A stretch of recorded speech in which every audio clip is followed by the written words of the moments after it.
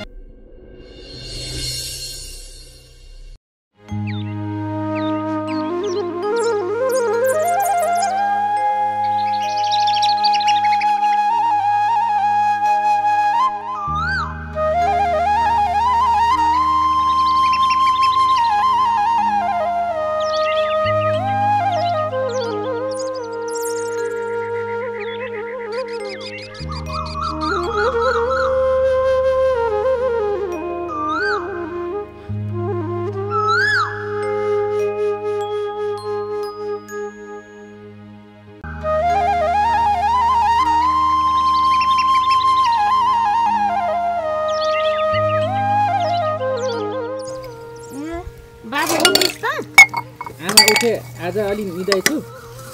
तपाईँलाई पनि कस्तो कस्तो देखिरहेको थियो? आमा थोरै ल।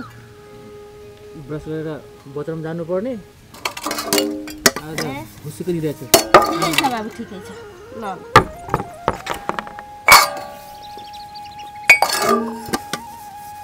ए बुढा!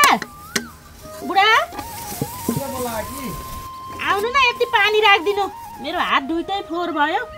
कहाँ म बुढो मान्छेले पानी हाल्ने यहाँ हात खुट्टा दुखेर जिउ दुखेर कस्तो भएको छ बरु नातिनी छ भित्र नातिनीलाई बोलाइदिन्छु। अ नातिनी?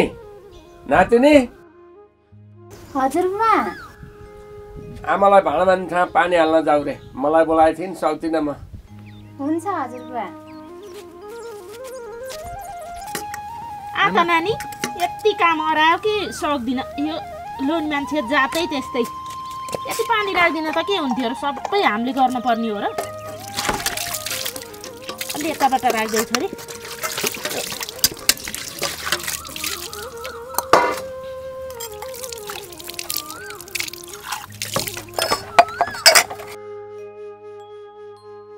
आमा एक जग पानी दिनुहोस् न।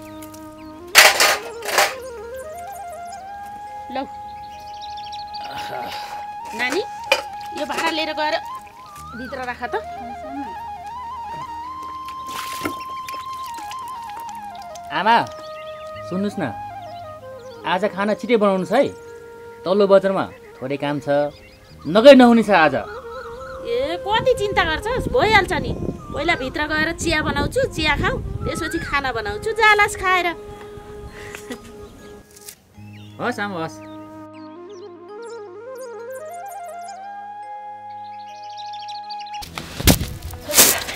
ए बुढा एउटा छोराको बारेमा सल्लाह गर्नु पर्यो कि? के सल्लाह हो र? भन न। बाबु एकछिन यता आएर बस्न। ए हुन्छ आमा। उसलाई यसो सोधेर ल, ल। कुरा त गर्नु पर्यो नि अन्त बिगारिनु हुन्छ भोलि हामी न हजुर आमा बा भन्नुहोस्। के भन्नु र मैले बाबु? हिजो बाबुले केटी देखाउन लाँदा गर्नु हरकत गरेर आइस के अरे त्यस्तो राम्रो केटी देखाउन जाँदा स्वात्त भागेर आइस। त्यत्रो गाउँलेको सामुन्नेमा तेरा बाबुको शिर झुकाइस। हेर बाबु शरीरमा लागेको चोट त औषधि लाएर निको हुन्छ तर वचनले लगाएको चोट केही गरी निको हुँदो रहन्छ। मलाई रातभरि मुटु भत भत्ती पोलिरहेछ। तिमीले ठिक भन्यो बुढी यसले हिजो त्यहाँ देखाएको तमासा देख्छ त अहिले नि एक झापट दिउँ जस्तो लाग्छ। रातभरि त्यही कुराले मेरो टाउको दुखेर निन्द्रा पनि लागेको छैन। बा आमा मैले हिजो त्यस्तो गर्नुमा मेरो बाध्यता थियो। किनकि मैले अरू कसैलाई वचन दिइसकेको थिएँ। त्यही भएर मैले त्यस्तो गर्नु पुगेँ। बा आमा मिल्छ भने मलाई एकपटकलाई माफ गरिदिनुहोस्। बाबु हो यही कुरा आज भन्ने कुरा हिजो भने भए हुन्थेन तैँले कमसे कम बाउलाई गाउँलेको सामने गएर शिर झुकाएर आउन त पर्थेन नि। हो बुढी अब यी सबै कुरा छोडिदेऊ। ल बाबु अब कहाँ हो? तैँले खोजेको रोजेको को केटी छ? त्यो हाम्रो यो कुल घरमा न ल्याउने कोसिस गरौँ हामी हेर्न जाउँला छिटै नै हुन्छ बा आमा हामी छिट्टै माग्न जान्छौँ। मैले त्यही वचन दिइसकेको छु मैले। यो वचन म खेर जान दिने छैन। जसरी हुन्छ मैले निर्णय गरेको केटी नै मैले ल्याएको हुनुपर्छ। किनकि जीवन मैले बिताउने हो बाह्र आमा हजुरहरूको निर्णय अनुसार बुहारी भित्राउन खोजेर मलाई हुँदैन। किनकि मैले चाहेको खोजेको नै म यो कुल घरनामा बुहारी बनाएर भित्राउन चाहन्छु बा। ठिक छ तर एउटा कुरा सुन। पटक पटक पहिला जस्तो नहोस्। त्यही भनिदिएको छ मामले। ल ल बाबु। तैँले भने बमोजिम तैँले मन पराएको केटी हेर्न जान तेरो बाउ र म राजी त भयौँ। तर एउटा कुरा ध्यान दिएर सुन छोरा। हेर त त्यो सुन्तलाको बोटमा कति लटरम्म सुन्तला फलेका छन्। तर त्यसमा फलहरू कस्ता लागेका छन् हेर त बाबु। कोही ठुलो छ कोही सानो छ कसैमा त ऐजहरू पनि लागेको छ बाबु। आमा बा अब फल मात्र के? फल दिने बोट नै ल्याइरहेछ जब हाम्रो घरमा फल दिने बोट ल्याइन्छ नि बोटले फल दिइरहन्छ। त्यसपछि जतिखेर हामीलाई टिपेर खान मन लाग्छ त्यतिखेर टिपेर खान मिल्छ। त्यसपछि हाम्रो घरमा कति खुसियाली हुने भन्ने कुरो अहिले म कल्पना गर्न सक्दिनँ। तर बाबु मन पराउने हजार भेटिन्छन्। जुनी काट्ने एउटै हुन्छ भने जस्तै तैँले पनि ती हजारौँ फलमध्ये एउटा राम्रो फल रोज्नुपर्छ। बुझिस् नि? ल ल छोरा तेरो कुरा नि ठिक हो तेरी आमाको कुरा नि ठिक हो। हुने बिरुवाको चिल्लो पात नहुने बिरुवाको खर्च पात भन्थे म सधैँ यो घरमा चिल्लो पात हेर्न चाहन्छु। बुवा हजुरले एकदम ठिक भन्नुभयो। ओहो फेरि बजारमा जरुरी काम छ। साथीहरूले छिटै आउनु भनेका थिए। म त कुरै कुरोमा भुसुकै बिर्छु। ल आमा अहिले म लाग्छु। ए मैले पनि त भुसुक्कै बिर्सेछु नि बाबु। छिटो भात पका आमा भन्थ्यो छोराले बिर्सेछु। भित्र नानीले चिया पकायो अलिक चिया त खाएर जा। आमा अहिले पर्दैन म हत्रमा छु। अहिले म निस्किहालेँ है। तल चाँडै आइज है। ल ल बा म छिटै आउँछु। खाना बनाउन भनेको भोकै पो हिँड्यो छोरो। अब हुन्छ बुढी। मलाई पनि त नातिनीलाई भनेर चिया ल्याइदेऊ न तातो कस्तो जाडो भयो। कोट पनि लाउँछु म।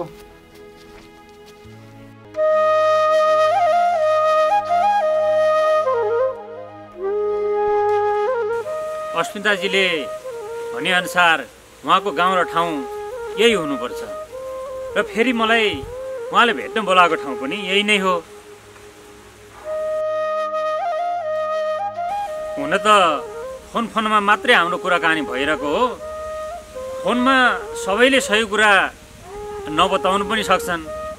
तर अस्मिताजी वचनको पक्का हुनुहुन्छ भन्ने मलाई एकदम विश्वास छ। उहाँ पक्कै पनि आउनुहुन्छ। कतै घरको कामले गर्दा अल्झिनु भएको होला। अब एकपल्ट फोन गरेर हेर्न पर्यो।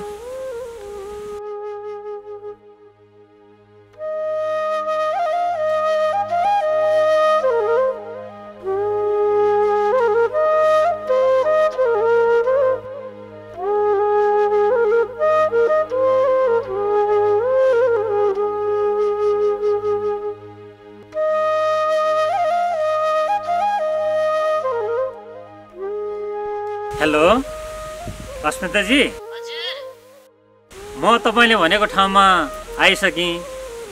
खोइ त यति बेलासम्म तपाईँ त आइपुग्नु भएको रहेछ। म हो नि। म त यहाँ तपाईँलाई कुरेर बसेको लगभग आधी घन्टै जस्तो हुन लागिसक्यो। हुन्छ छिट्टै आउनुहोस् न है। हस्।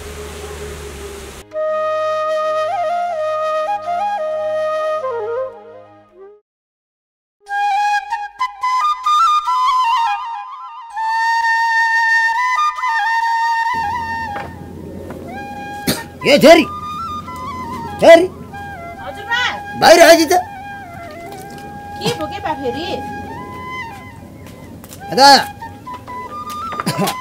किन बा रहेछ त्यहाँ के गर्नु बा यतिकै बसिरहेको के भित्र अनि बा खोकी ठिक भयो सन्चै हुनुहुन्छ नि अब खोइ के भनौँ छोरी सन्चो छु भनौँ कि बिसन्चो छु भनौँ झन् हिजो राति छ बनाम त तिमीले घर छोडेर गएको पो देखाएको थिएँ कति तिमीलाई केही पिर व्यथा त परेको छैन मलाई जस्तो कहाँ बा? मलाई कहाँ त्यस्तो पिर व्यथा हुन्छ भने? अनि फेरि सपना देखेको कुरा पनि कहिले साँचो हुन्छ त? बाले देखेको सपना सपना नै रहन्छ के बा? सबै बिर्सिदिनु। खोइ छोरी सपना पनि धेरै किसिमको हुँदो रहेछ। काल्पनिक सपना भावनात्मक सपना दृश्य सपना अनि त्यो सुर्ती सपना। ए सुर्ती हो कि के सपना भन्छन्? त्यो पनि हुँदो रहेछ। अब के हो के हो? मलाई त बुझ्नै गाह्रो छ। हेर्नुहोस् है बा सपनाकै आधारमा विश्वास गरेर मानिसहरू अगाडि बढ्न खोज्ने भए त नि। कहिले पनि पुरा हुँदैन के बा? अनि फेरि बा यो सपना देखेर कसैको जीवनमा मेल खान गएमा संयोग मात्र हो के बा? अब के गर्ने? अब आफू त अब धर्म कर्म र बारमा विश्वास गर्ने मान्छे। ऊ पल्लो घरको जिम्मालको छोराले सपनामा एउटी तरुनी केटीलाई सिन्दुर हालेर भित्र आएको देखाएर रहेछ। नभन्दै एक महिनाभित्र खुब्ले कसले हालेर घर दोहोरी उडेर आँट्यो अरे हे तेरिका बा अब यदि तपाईँले देखेको सपना साँचो नै भयो भने पनि समय र परिस्थिति नै त्यस्तै भयो भने विचार गरौँला नि त बा। है हुन्छ अब यो कुरोलाई कुलो जाता त्यति बगिन्छ हेर यिनी कुरालाई के थाहा राखेर बरु तैँले पनि एउटा राम्रो व्यवसाय हात हालिस् भने म बुढो मान्छे पनि बेला बेलामा बिमारी हुँदाखेरि यसो अझै खाने पैसा कमाएर दिन्थिस् कि भन्ने आश गरेँ। बल्ल मेरो बाको बुद्धिमा बिर्को खुलेछ। अनि खोजिदिनुहोस् न त बा राम्रो जागिर। गरिहाल्छु नि। सेवा गर्न त बसिरहेको छु।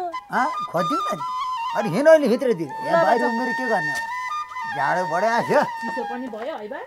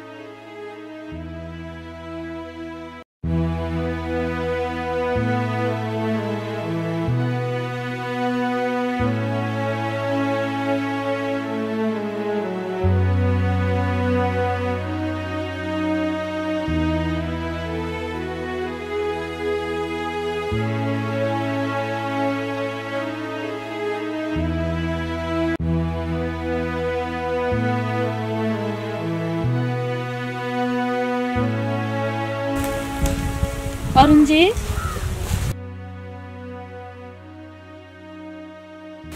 हजुरलाई धेरै बेर कुराएँ हजुर रिसाउनु त भएको छैन नि होइन होइन अस्मिताजी त्यस्तो केही होइन भन्छन् नि प्रतीक्षाको फल मिठो हुन्छ त्यस्तै मैले तपाईँलाई आधी घन्टा जति कुरेँ आधी घन्टाको त कुरा के हो र अस्मिताजी म तपाईँको लागि सात जुनी कुर्न परे पनि तयार छु हुन त तपाईँ कामकाजी महिला हो घरको कामले गर्दाखेरि अलिकति ढिलो भयो होला। त्यसमा मैले कुनै माइन्ड गरेको छैन अस्मिताजी। ए त्यसो भए हजुर रिसाउनु भएको छैन है। म त रिसाउनु भयो कि भनेर डराइ डराइ आएको थिएँ। छैन छैन। रिसाएको छैन। अब यत्तिकै बाटोमा उभिएर के कुरा गर्ने यसो कतै बसेर कुरा गरौँ न हुन्न? हुन्छ।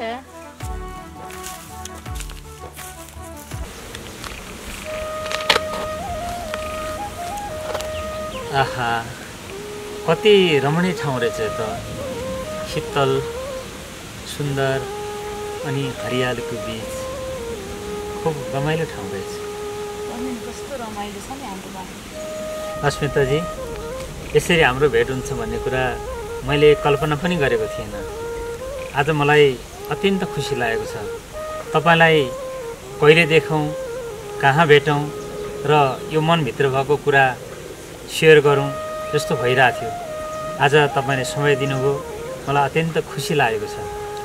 र अनि आजको यो हाम्रो भेटको उपलक्ष्यमा तपाईँलाई म सानो उपहार दिन चाहन्छु।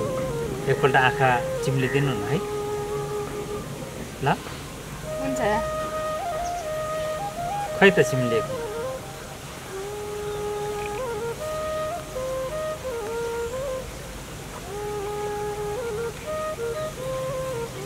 लाउनु भएको के? एकैछिन है।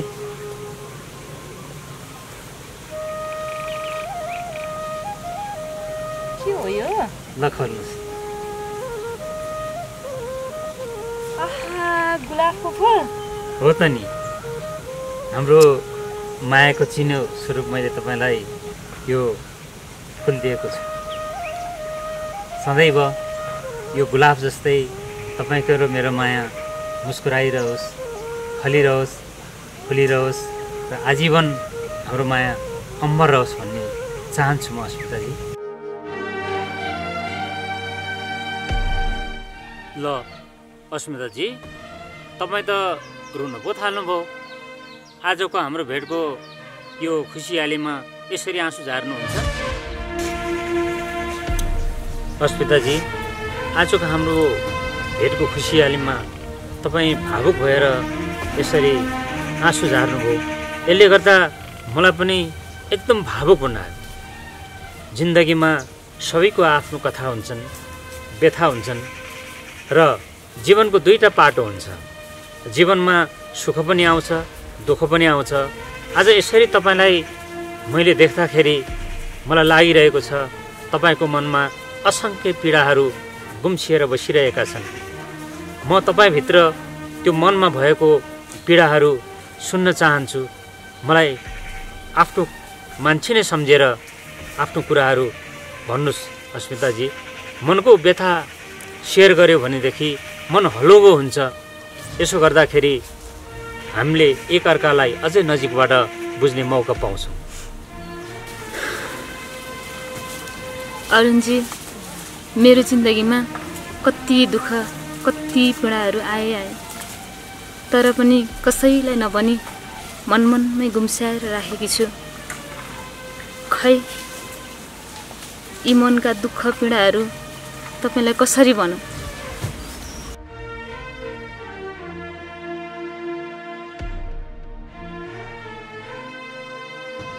आफ्नो भाग्यको खेल त होला नि।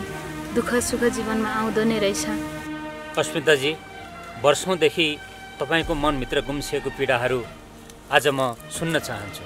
आज तपाईँले मलाई बताउनै पर्छ र तपाईँले आफ्नो मनको पीडा मलाई सुनाउनु भयो भनेदेखि तपाईँको मन हलुका हुन्छ। अनि त्यस्तै मेरो यो मनभित्र पनि वर्षौँदेखि धेरै दुःख र पीडाहरू बसिरहेका छन्। मलाई पनि कसले सुनाउ सुनाउ जस्तो भइरहेको छ र आज म पनि मेरो मनभित्रका पीडाहरू तपाईँलाई सुनाउन चाहन्छु। र हामीले एकअर्काले आफ्नो दुःख सुख आफ्नो मनको पीडाहरू एक आपसमा साटासाट गऱ्यो भने हामी दुवैको मन हलुको हुन्छ। यसो भएपछि हामीलाई नजिकबाट एकअर्कालाई बुझ्नको लागि सहयोग पुग्छ। अस्मिताजी आज तपाईँले मलाई सुनाउनै पर्छ प्लिज। ए भनेपछि तपाईँ मेरो जिन्दगीको दुःख पीडा सुन्न चाहनुहुन्छ होइन? ल सुन्नुहोस्। म एउटा विधवा महिला हुँ। त्यसमाथि पनि समाजबाट अपहेलित भएकी। तपाईँले मलाई यति धेरै माया गर्नुहुन्छ भन्ने कुरा कल्पना पनि गरेकी थिइनँ। मैले यति भन्दा भन्दै पनि तपाईँ अझै मलाई माया गर्नुहुन्छ त? हो अस्मिताजी। तपाईँको र मेरो जीवनको कहानी एउटै रहेछ। र तपाईँलाई म अत्यन्त माया गर्छु। र यो समाजको अगाडि तपाईँलाई साथ दिनको लागि र तपाईँलाई अप्नाउनको लागि तयार छु। तपाईँले चिन्ता लिनु पर्दैन अब।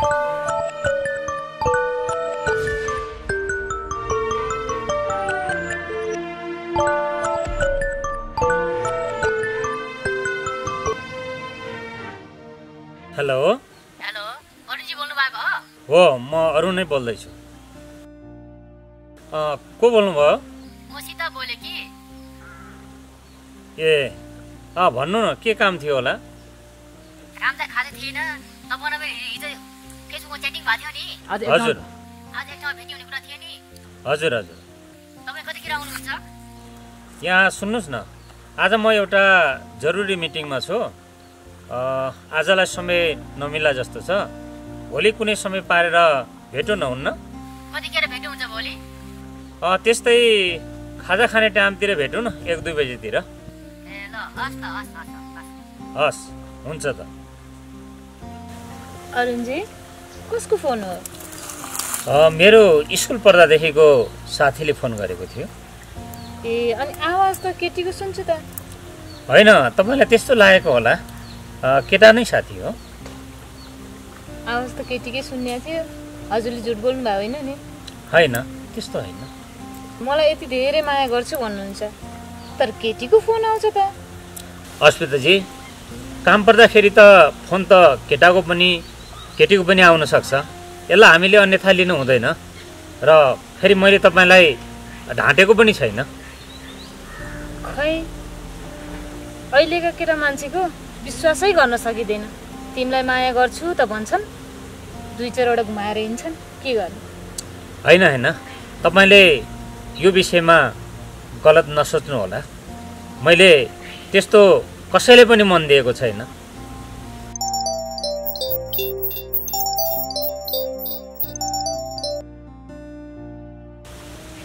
हेलो?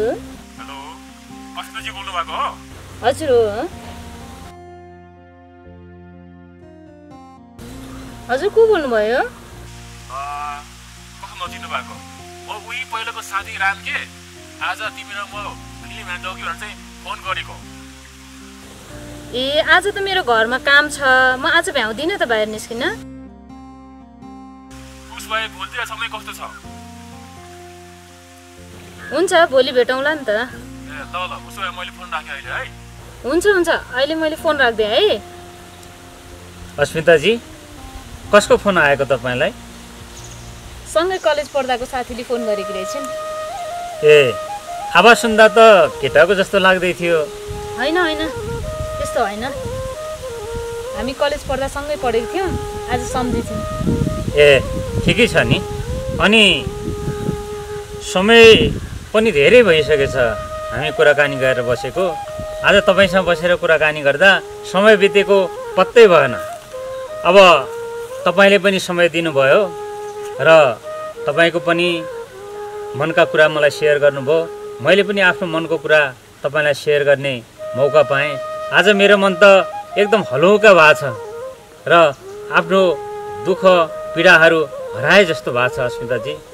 अब घर जाने पनि बेला हुनै लाग्यो।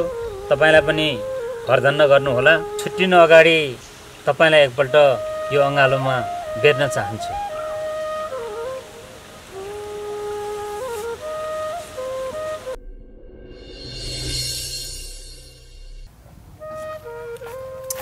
ती फोरै घर मान्छे। चुप्लाएर गर न। गरिदिएर छु नि। सफा गर्दा नि कस्तो ल्याङ गरेर। अब के गर्नु गर्नु परेन फोहोर मैले मात्र कति गर्नु? धुलो छ। यो सबै उठाउ न। यो उठाउनु पर्ने?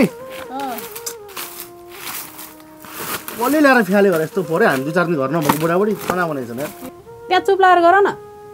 कति कराइरा? अब तिम्रो घरै यस्तै छ।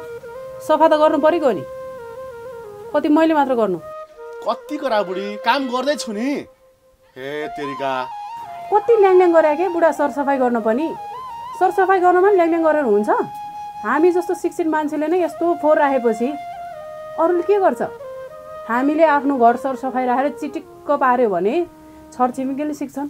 उनीहरूको घर सफा राख्छन्। हेर बुढा यदि संसार बदल्नु छ भने पहिले आफूलाई आफूले बदल्नुपर्छ अनि बल्ल संसार बदलिन्छ। बुझ्यौ नि? तिमीले भनेको कुरो बुढी एकदम ठिक हो। सरसफाइको अभियान दुईजना भएर चलाउनु पर्छ मलाई एकदम खुसी लाग्यो। हामी बदलेको अरू बदलिन्छ नि त। यो तिमीले भनेको कुराले मन एकदम दुखिरहेछ। तर हामी सरसफाइ अभियान चलाउने हो। दुई बुढाबुढी भएर जनचेतना पनि फैलाउने हो। बुझ्यौ? ल ल बुढा। अब धेरै ल्याङ ल्याङ गऱ्यौ थाक्यो पनि होला आऊ बस। ल आएँ के के भन्नु छ सबै भन् ल। अब त्यति फोहोर सफा गर्दा पनि अनि बुढा धनबहादुर काकाले अस्ति काम भन्नुभएको थियो। फोन गऱ्यौ त।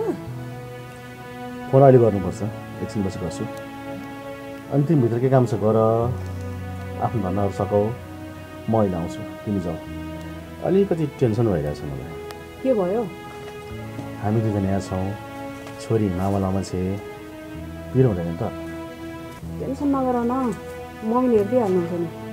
यो कुरा अहिले यहाँ ननिकाल्यो क्या बुढो यहाँ गाउँमा फेरि कतिसम्म बस्न सक्ने हो? फेरि त्यही काम गर्ने हो कि? डर लाग्छ क्या मलाई त। यस्तै परिआयो भने नाइ पनि सक्दैन नि। अब सहरमा तिमीले नराम्रो काम गर्दा छोरीलाई त्यहाँ छोडेर रातारात भाग्नु पऱ्यो अब यो कुरो नगर तिमी आफ्नो भित्र घरमा के छ गर म फोन गरेर आउँछु ल ल धनबहादुर काका के भन्नुहुन्छ भन मलाई ल ल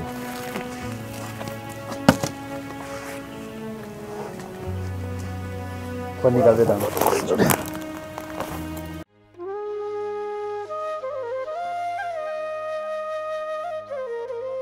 बरु एकचोटि धनबहादुर काकालाई फोन गर्नु पर्यो त्यो कामको लागि आउनु भन्दै हुनुहुन्थ्यो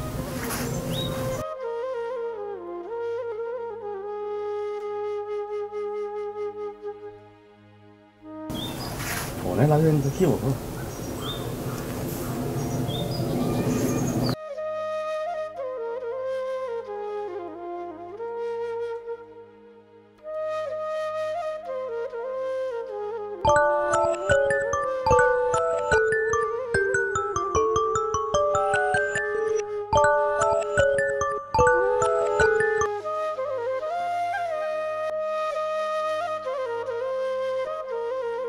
हेलो।